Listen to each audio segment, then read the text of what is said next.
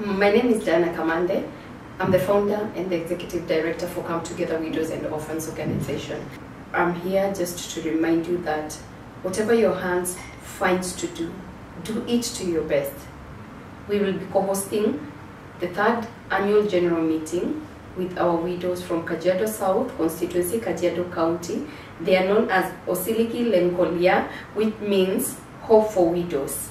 So we will be very excited to have all the people who have confirmed their attendance from government, uh, from uh, civil society organizations, and even the clergy that will be joining us.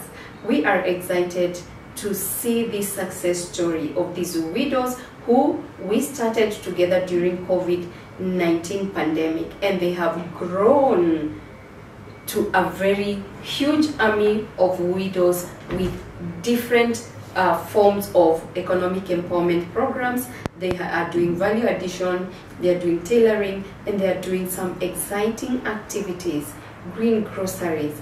You can't afford to miss this. Kindly join us and be part of us.